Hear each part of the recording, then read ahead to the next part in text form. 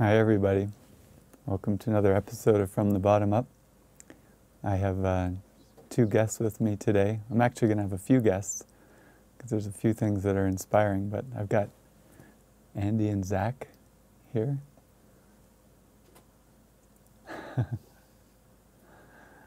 yeah, hey everyone. Well, you can come back to me, Nicholas. Yeah, I just wanted to introduce them and just kind of share with you. It's been a full week. We from the wake up episode I have every morning. There's been a theme of no compromise, and just a real opportunity to step in deeper with the idea of I need do nothing, and really to practice that on such a deep level, because my life is filled with multiple choices. Like they seem very important do this or do that. And both of them seem very important. Yet the only way that I can discern what is the most important is not through an external reference like, well, what would Jesus want me to do? That doesn't really work right now. It's, it's what do I feel? And it's a really beautiful opportunity to deepen into what do I feel in every moment? What is the most important thing that will, will light up my heart? And I had a miracle with, with Andy and Zach actually yesterday. Uh, was it yesterday? Yeah. Yeah, because part of my mission with uh, working with, I'm going to use the term lightly, millennials, and you're, you're actually going to have a show go into that more tomorrow because we don't really believe in it, but there are certain stereotypes and and aspects that the world judges, and you guys might agree or not agree with, but you know, here I'm coming from this really strong initiative place of, come on, we can do it, and passing on this, this initiative. And you and I and you were having a beautiful talk about it the other night. And at the end of the talk, you know, you guys said to me, you and Yuta said, we have never had initiative our whole lives. and, and like a light bulb went on. And the thought came to me, wow, no wonder we're together. But that's not enough for me to just feel that I'm of value in your life. it sounds funny, but it, I've got to feel like there's some kind of an expansion, you know, in my life. And so I just put out the prayer that night, and the next day you called a meeting with Zach about the Spiribot project, and I was out shoveling the snow and and came in and really hadn't like prepared in any way for the meeting, but you were, you were prepared. And I sat down and and just kind of watched as both of you kind of s- sat there and just stared at each other.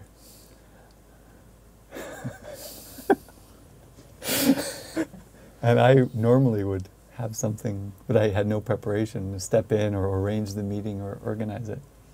And I just sat there and and kind of just ignored the impulse to try to fix it or make you say something or something. And it was like it would have been an awkward standstill in a normal worldly conversation where you know, but I just I let it go and I just went into this kind of mystical feeling of oh my god, what's happening? And it's like the world was turning upside down and then and then I did see some thoughts like, wow, this bot is never, as I imagine it, is never going to happen.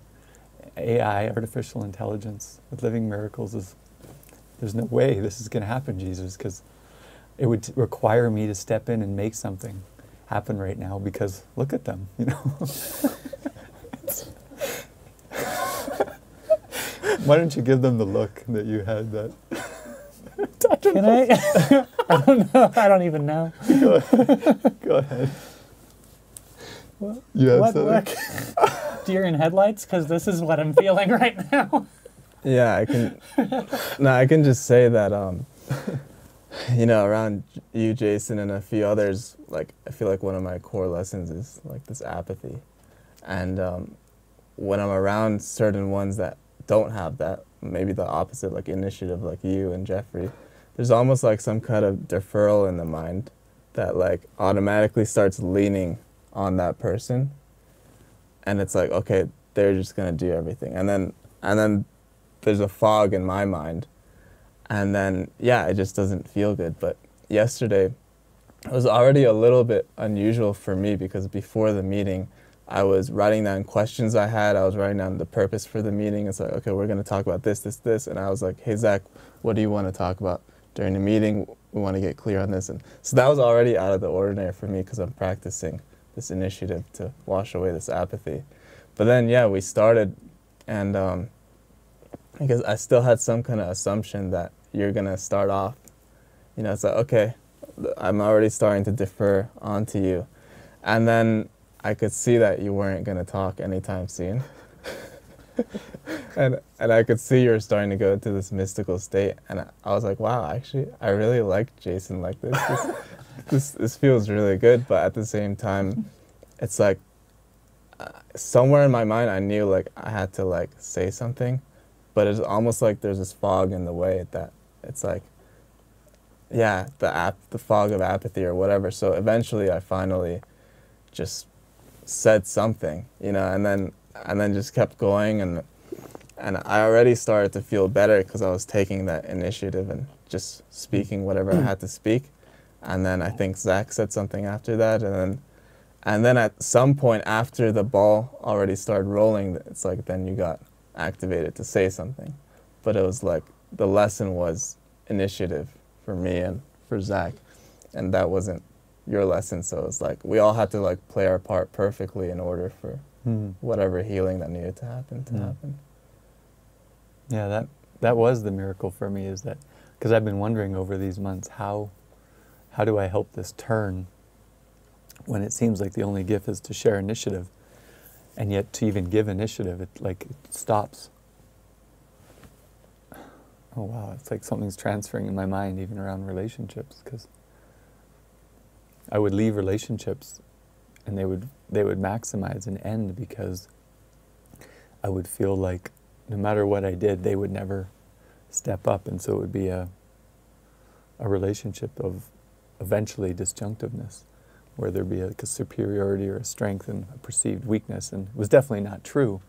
But the roles, we couldn't leave the roles, and I can see right now it's it was always for me to just learn to step back at the right moment because this was the miracle was when I couldn't and didn't have any initiative to step in, this mystical experience came over, and you guys literally stepped in, not because of anything I said or did, but it was purely Jesus activating you or you activating your mind. And it really showed me that people, like there's all these judgments on different generations, right, or even millennials or Generation X. It showed me that none of that is true because it's all my mind. And if it's all my mind, then when I take my part perfectly, everyone else has to do their part. So the only problem has been I, I haven't done my part. I haven't done my part perfectly. I haven't stepped back at the right moment or or whatever. And so there is no such thing as people with lack of initiative. It, like it all deleted in my mind. So. Oh wow. wow. Yeah, I can I can see that because it's like Jeffrey and Susanna in my mind also have that you know self-initiative dynamic. And then recently they just went on a trip so they just completely left the house. And then at the same time you went through a phase of stepping back. And then at the same time we're kind of going towards the spirit direction.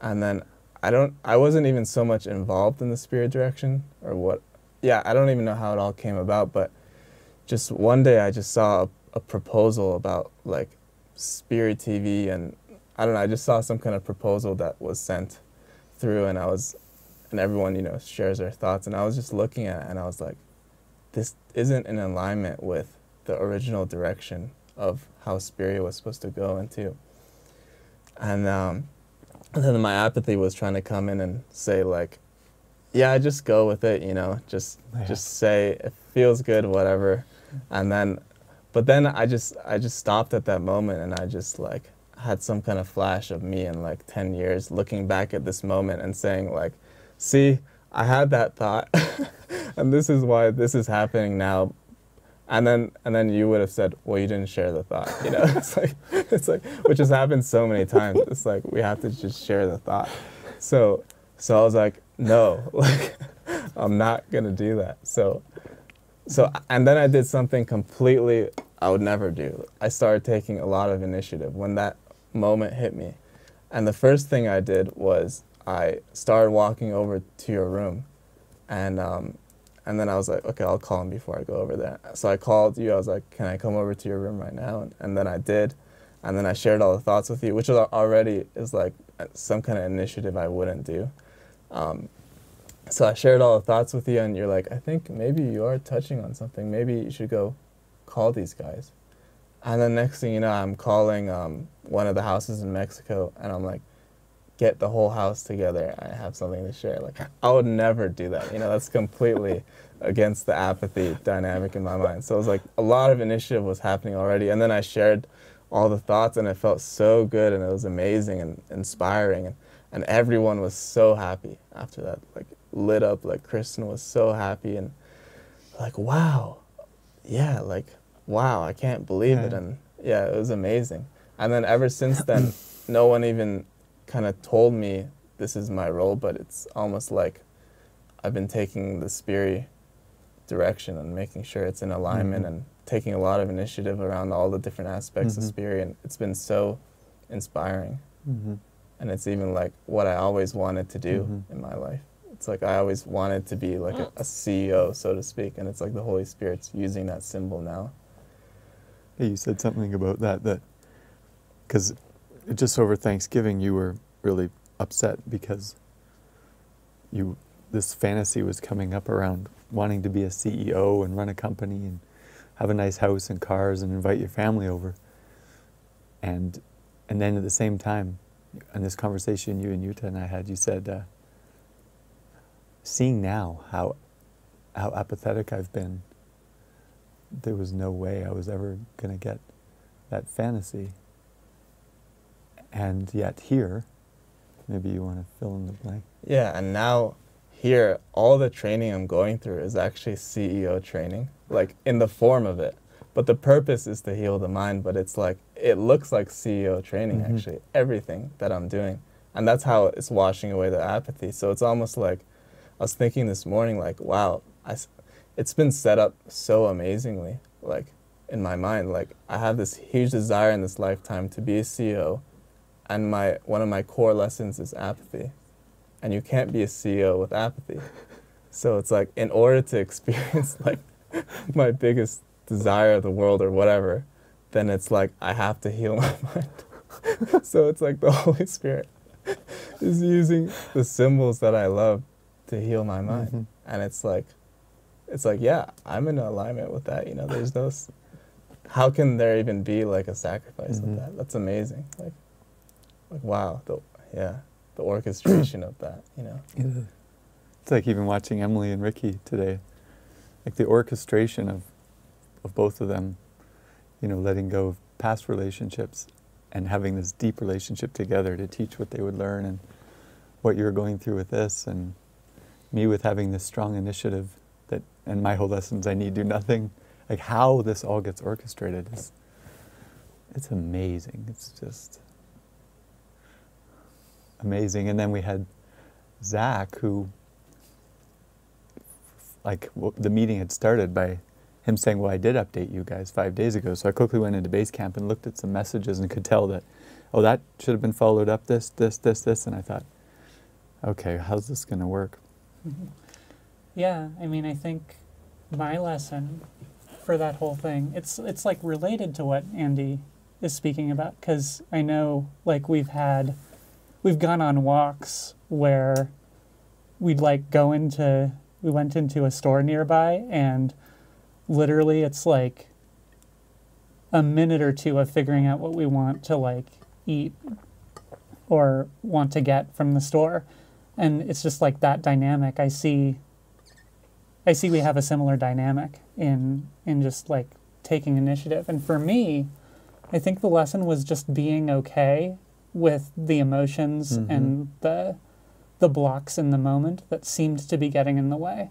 Mhm. because I did have all this judgment like, oh, I'm not I'm not taking over, like I'm not leading. I should be. Like this is a meeting about AI. I'm Your project. This is my project. But but there's nothing like there's no thoughts in my mind while I have this judgment. So Mhm. actually the most helpful thing in that moment was just to let it all up. Mhm. Like I couldn't force my way through it. Mhm. So, yeah, it was, for me, it was like, it's almost like coming to a realization that there's no, there's no other way that it could have happened. Mm. Like, in order to, to get in touch with things to follow up on and helpful things to speak about, like, I need to go through this. Mhm. I can't just Mhm. decide it's not important. And then you saw that by just expressing your thoughts, that for the past five days there were opportunities for you to feel a worthiness to just ask for a connection point with somebody. You didn't know who. Thought, was it Andy? Is it Laverne? Is it me?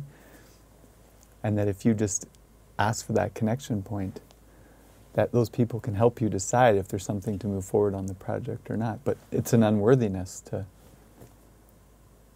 to go forward and ask Yeah. for help, I guess, or something. No, that's what it feels like. It's like, yeah, this just this this fog that comes in in my mind, and it's like the temptation is to believe that the fog is there because I can't figure it out myself Mhm. or something, Exactly. and like I can't figure it out myself. So there's the opportunity. It's like the judgment. It's like trying to build my own worthiness Mhm. rather than accepting the worthiness that I've been Mm. given. Mm. When I accept that worthiness, Mm. then like there's a willingness to actually reach out Mm. and and join Mm. truly. Ask for help. Yeah. That's beautiful. And then, so Andy's, uh, Andy stepping in and talking was initiative. It was also answering your call for help and allowing me to step back. It was just like, we all win. yeah. Mm. So these are the nuances that I feel, yeah, I just, us living together and being together and, and sharing and have the courage to practice in the moment what's authentic and what we truly feel is, is yeah, is why Jesus brings us all together and the complementary ego dynamics that can be undone. Yeah, it's really phenomenal. And you'll probably go more into that on your show tomorrow around most of the messengers and elders not being apathetic at all, you know, and then seemingly a few that are coming in that have that dynamic and how it works. So I'm plugging your show for tomorrow.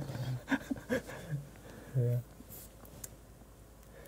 But I love what you said, and it just comes to mind, because um, there was this anger that would come up for me like over the last two years or whatever, and I never knew what was the deal with that. And then one day you just told me that this apathy in the mind comes in when when the anger comes up, and it kind of just like pushes it down as a way to deal with it Mhm. and release it, but not actually release it. And then the anger is around like a desire of something that I'm not getting. It's Mhm. like belief in sacrifice. I'm sacrificing a desire, and then there's anger, and then there's apathy to kind of push it all down.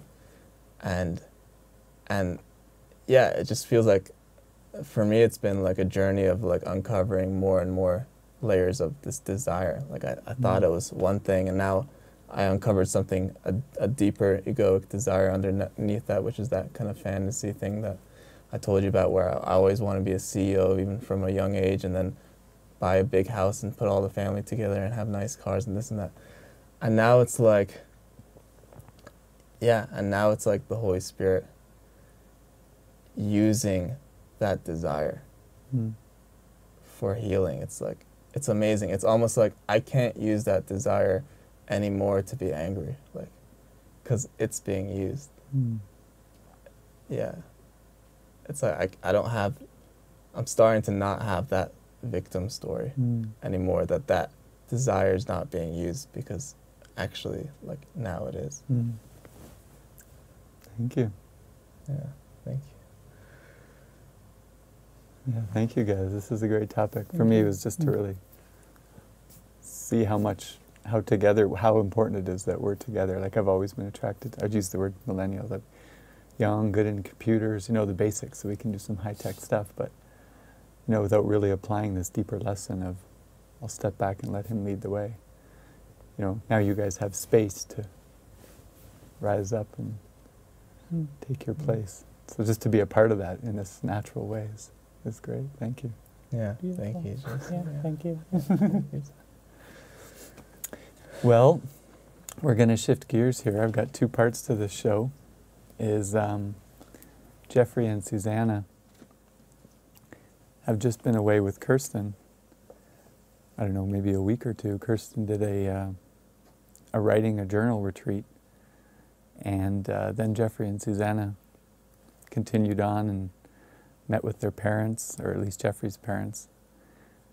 And as is often the case, whenever they would come back from these tours, I would say, What do you guys have any miracles to share? And there was always a little bit of fear but we'd convince them to come together in the house for a few minutes and then they would share it all before they would lose the miracles. And so I thought I'd invite them onto the show today to because they came back and they were tired yesterday and didn't actually share with the house last night. So I thought we're all together now. We'll just hear fresh from them some of the miracles of their trip and just see where this conversation goes. So, welcome, Susanna and Jeffrey. Thank you. Thanks for having us on the show. So, unless you're bursting with something, no, I've got no. no, whatever you got. Well, the most curious question to me is you started to share with me today, Susanna, in the morning. You know, you would go away on these trips and yeah, you would you would feel like it was a great opportunity to be with Jeffrey and and the relationship would strengthen and there'd be this beautiful healing going on and the con- a conclusion would be there that well that's why I need to be away with Jeffrey and it wasn't just Jeffrey it would be previous relationships where it's the relationship or maybe what what's the or what's the other Well, the or in this case would be community, but to me it symbolizes like God or like the calling of my heart. Ah. So it was the relationship or the calling of your heart and you could never bring them together Yeah, no. I tried, but that would never go together in my life anyway. And in this case, it actually is together, but there's still this desire for a romantic relationship, I guess, because that's the way it comes up. mm. so how how was that how did that shift on this trip somehow Well, I think it was there on this trip, but I actually got to see it for the first time. That that's. Oh, that that's what was going on, because other on other trips I we would go away and I just. Yeah, I wouldn't be looking forward to coming back, and I had all these reasons why like I didn't want to do the same thing anymore. I didn't want to feel um, like I was busy all the time, or I don't even know what the excuses were, but there was always a thought that I couldn't have this because of the community or something. mm-hmm. And there would be this huge shift when I would come back from a trip. It would just be, um, yeah, like the world being flipped upside down again or something. And I would always have this feeling of sacrifice. Like I have to sacrifice this trip for that. And it would just take me a few days to adjust. And then I'd be totally into, like, oh, yeah, this is it. This is totally it. But yeah, this trip was a little different because I actually could notice those feelings come up before I even left. And then during the trip, it was there as well. But then when I came home yesterday, it was a totally different experience. Like, I haven't felt anything different. Like, there has not been any shift whatsoever. Like, it's just felt like one thing. Mm. And that just feels really cool because like there's no either or. Mm. Like it's like the relationship with Jeffrey and the closeness that we got um, on our trip is actually extending into being here, Mm. and the community is being welcomed into my relationship. That's what it feels like. Like it's not separate, but like it's being united in my heart. Beautiful. that's a miracle. Because that feeling of one or the other, oh, that's hell. Because then when you're here, you can't be fully here because you want to be away. And then when you're away, you never, you never want to go back. Or maybe for others, I want to be back. You know, Yeah. Kirsten's described that in different ways. With when she'd be in New Zealand with her family, she was thinking of London. Then when she's in London, she misses her family, and that's how the ego just keeps you never mm. happy anywhere.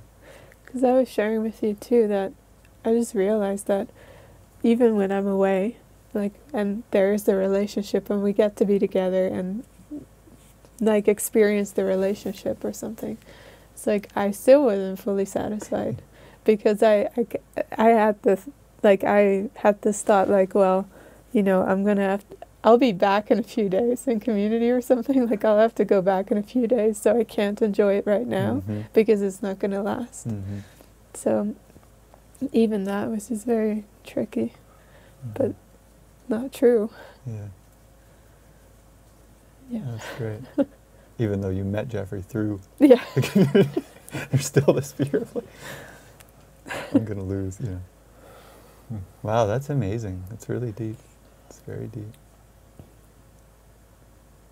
Anything else come to your mind from the trip that it's like, wow. Well, yeah. I just feel like I come back with this renewed desire for this path. How so? Well, yeah, I just got in touch with, like, this, yeah, what I actually want. And Welcome to my world.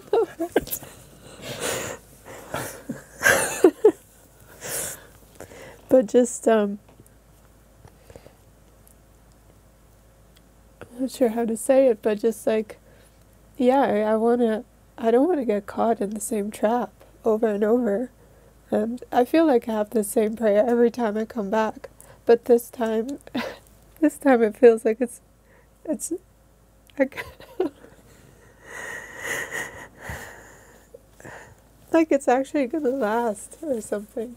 Like I'm not gonna forget my prayer and lose it. Mm.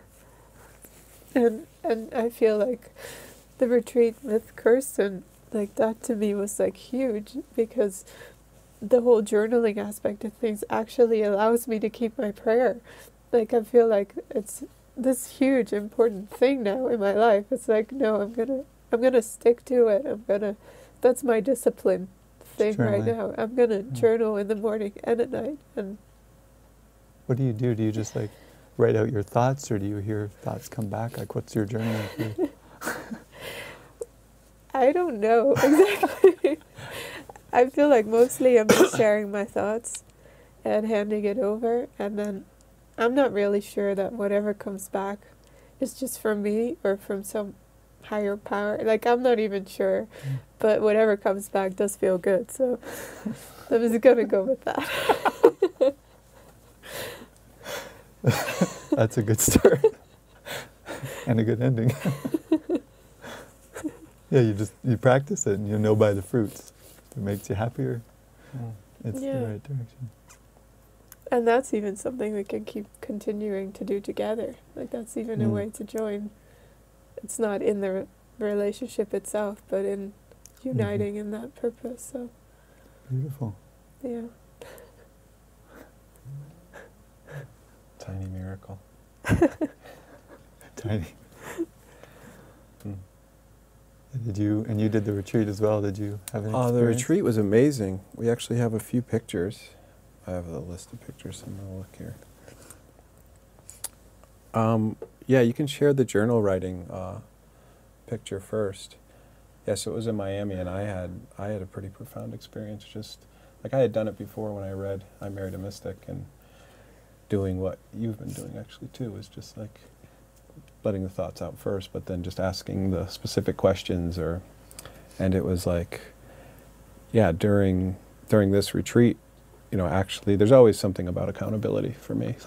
It's just like my path. Like if i'm asked to do it and okay now i'll do it. And so being there with everyone and doing it with kirsten and, and jackie it was like that process of just writing the thoughts. And as i wrote the first like question it was like a page and then a one line answer and then they got smaller and smaller but hearing those responses that made me feel better and Mm. actually answering questions that Mm. they weren't for me some of them like would sideswipe me i'd be like i'd write all this stuff and it would be like and then the the, the thing came back like you were. It was about my projection on the certain ones and judgments and all this and i'm like i want to let go of this and then it was you were never alone i'm like what the f- i'm not talking oh wait a minute.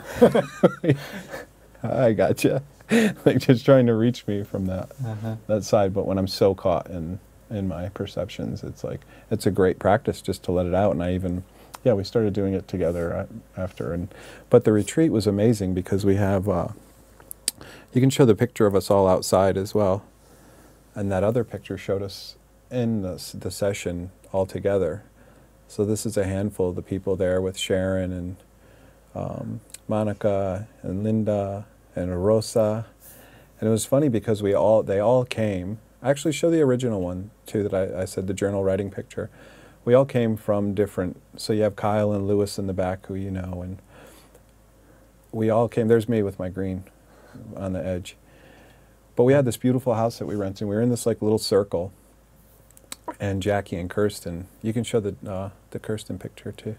Just gave this beautiful setup of how to do it. Really, just to Uh-huh. really handed over and it was this idea of I had never been doing what I practiced in, in form with a sponsor, with you, with like creating the relationship with my with God Mhm. by sharing everything with him, not Mm. just asking. Mm. like the idea of no, this is actually where my mind's at. I hate this. I don't like this, and Give me guidance in these limited conditions. yeah, but I'm not sharing where I'm where I'm at. Like Yeah. sharing where I'm at with a friend Mhm. you know, with the appointed friend was like, oh my God, just unleashing all this stuff. And then seeing the whole group where everyone was at, like Lewis and Kyle, everyone at different areas in their journey and this. And after we did like two sessions, yeah, about two sessions, Kirsten brought us, we all came together, we are going to have a movie. And she's like, no, she was praying. I think we're just coming together and kind of an altar session. And we set up an altar session, and everyone shared like their experience, what they had. And it was like this was day two, and everyone had already received the answer to like why they came to this retreat. Like Lewis was beautiful. He's like, I wrote twelve pages. he was just like going and going, and then finally, there was this clarity, and I heard something, and he's like, and he was like, there it is. Like, but he had that experience that we all come to. Like, oh my God, I get to pray. Like Mm. prayer is an actual option Mm. in my life Mm. and this opened up that door for him and he Mm. was just like i get to do this now Mm. like i can continue to do this and then he had his kids there and he had missed the session he's like i'm going to continue to do this and we're going to stay connected to like we're going to do just to, Yeah. to keep that going and even kyle kyle was like struggling with it was so funny. Lewis said this to you. I wasn't sure who to write to because we all have that question when we start it like am i writing to jesus or the holy spirit? or and i have this this thing that i write to jc and my initials are jc so it's like my cover higher both. yeah, my higher self this my future self whatever you want to say it's kind of covered. And it was so sweet. Lewis was like i wasn't sure who to write to. I didn't want to write to uh, to jesus because then the holy spirit would be mad. So- and then but even like with kyle he was like i finally was able to write to jesus because we all have this preconditioning of the name jesus and all that. And he was like i decided to do it. And then yeah and like yeah, each person just had this amazing hmm. like response to actually you know a lot of them thought they were coming there because they wanted to write a book and this was a writing retreat and really it's just about hearing the voice of god like Yeah, in whatever we do and some ones that were writing books or like oh my god this is was my answer and seeing the way it was a different type of retreat we had a couple of dogs and a rabbit it was like so we got to got to experience a lot of that and, but it was cool to see people from different, you know, Yeah. area walks of life or at different points in the path and really getting the answers that they wanted. It was, it was great. I think I have.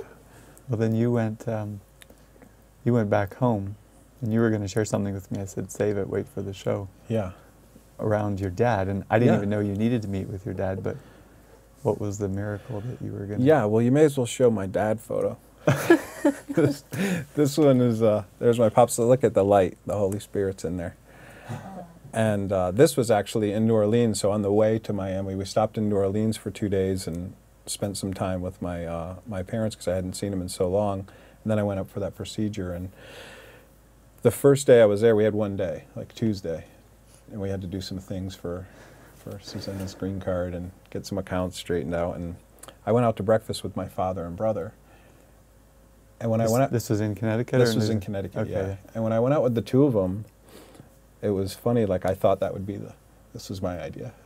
Like, Maybe I didn't pray fully on it, but it was like, oh, let me go out with them. And when I was with the two of them together, there was just too many of the, the group dynamics, the the roles where it was, you know, talking about the Red Sox apparently won the World Series, like all this stuff. It was like, and actually trying to get to the deeper stuff that I wanted to share. And then as soon as my father, like he was had to go back to the office and he threw his card out. He's like, "Why don't you guys stop up and pay for that?" As soon as my father had left, my brother started start talking about this huge inspiration that he's had that we've touched on before, and I was like, I lit up. I'm like, "What are we talking about the Red Sox for an hour?"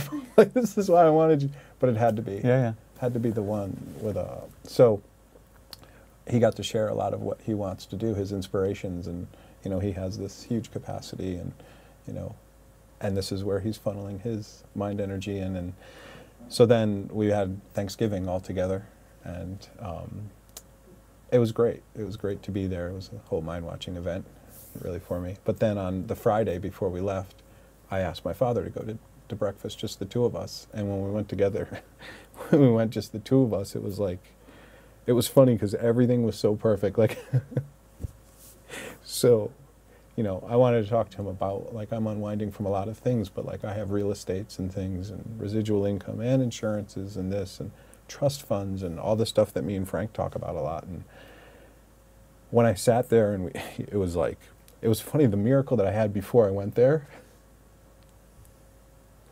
was he was working.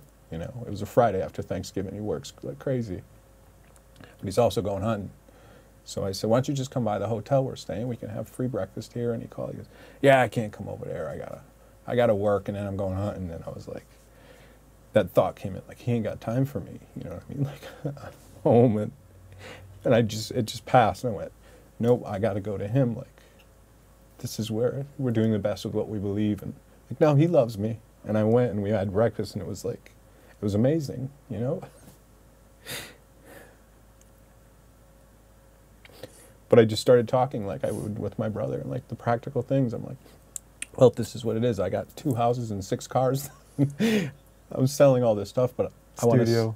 Yeah, I want to see where I'm at. Yeah, I want to buy new cameras for the studio. I'm like, this is where my heart is at. This is my calling. This is what I'm going to do with my life. And I said, this is day, two days after my vasectomy. So I'm obvious I can speak confidently now that I'm not having kids.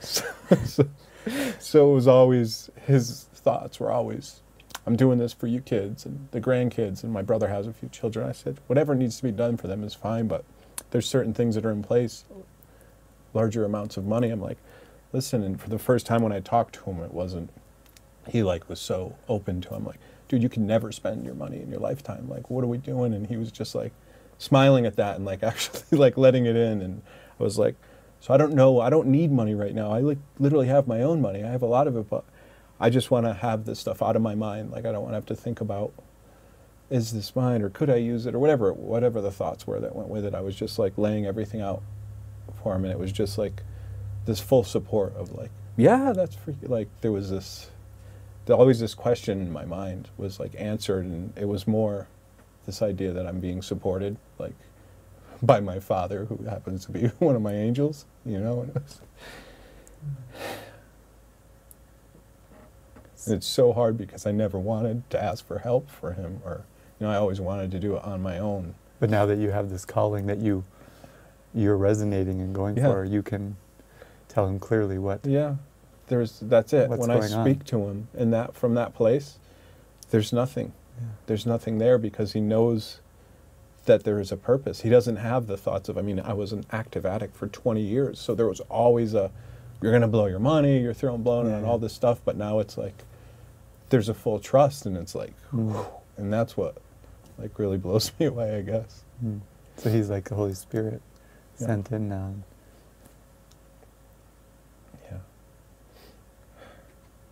That's beautiful. This is what happens on the from the bottom up. it's funny because there's such a fear that if we follow our calling, Yeah. we're going to lose the ones that we love. But in your case, it's it's it's in form a very perfect example actually that you follow your calling and you you know you had no relationship really with your father. Mm. It was all past right, fears. not in this way, yeah. And now it's like he's being sent in deeper. You know, it's great having Susanna there as Yeah. beautiful symbol. You're having connections with your brother and your inspiration. And Hmm. And my mother as well. You can show my mother my mother picture. It was like she was less upset. like when we left this time, it's getting better each time. But just when we, she was more upset when we left New Orleans, and we'd be seeing her in five days than she was when we left Connecticut. But it was like I think it's the same thing. Like she does have this knowing. I remember writing her a note one time, like you don't have to worry anymore mm, after I had my experience and in Hmm. recovery and everything. And now I think that's starting to happen. like Yeah. she knows that I'm with, yeah, I'm with God, with people Mm. that care. And I remember I've had a talk with your mom, and yeah, it was all about God and just making sure you were in a true path. mm.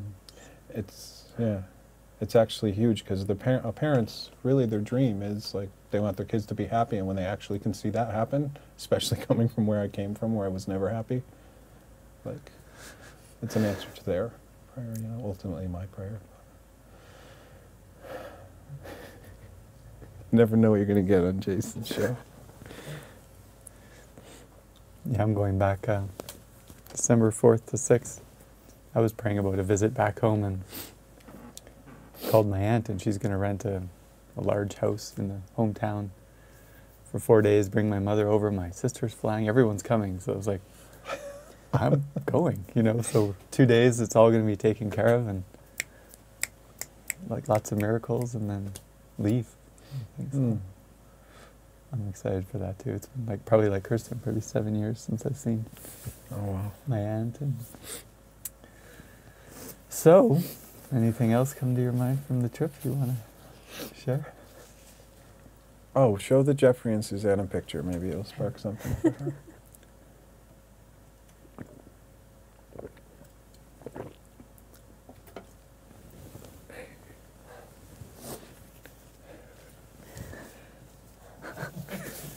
this is at Thanksgiving. I was laying down on the couch after my, my surgery.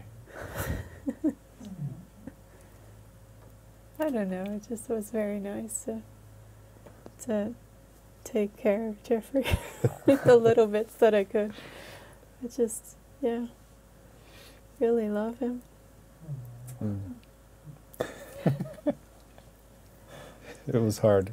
It was like I felt capable. Like they tell you not to do certain things, and she's like, "Don't lift that. Don't do this." And I saw the do all this stuff, like the patterns, but in a scale where we're like staying it out. No, don't do that. Here, let me support you. And she's like walking my arm. Like, I don't know. Oh no, maybe I do need this. like this refusal of support, of love, or yeah. So that was really, really cool. Yeah, it was sweet.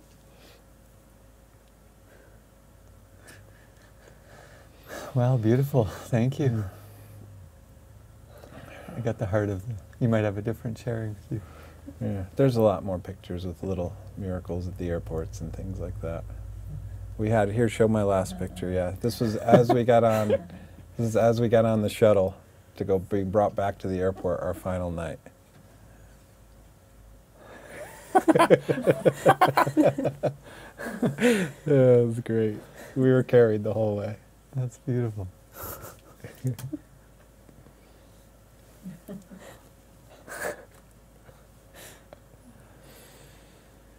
Hmm.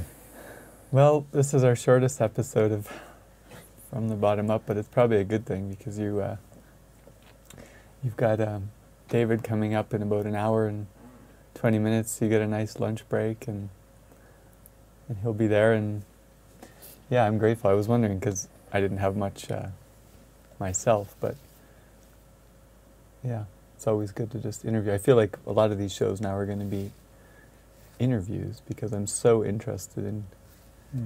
in hearing what, what people are going through, especially from the miracle perspective. And yeah, David has allowed me to do that on my own show where I just show up like wide-eyed, what is going to happen? And maybe he'll keep coming, but so far the last three weeks it's been orchestrated that Mm. he's not. And so I'm prepared to do a lot more interviews and Mm. maybe we'll call surprise guests and just hear what they have to say. So thank you for joining Jason, me. Jason's also open to invites, and he can do this in your own living room to Oh yeah. interview you Maybe one day I'll I'll drive around to your house and you can be on a remote from the bottom up. showing from the bottom. but in the meantime, if you have any questions that you want Mm. on either the morning shows, which is 7 a.m. Monday, Wednesday, Friday, 7 a.m. Mountain Standard Time, or for from the bottom up, please feel free to write me a question. And if there's no pressure to respond back as a, it's just between you and me. I'll probably use it as for the shows or Mm. something that will bless the universe. And I don't have to use your name, just write. Don't use my name. If you don't write, don't use your name. I will probably use your name. so, so yeah, thank you very much and Thank you. have a great a great week. Guys.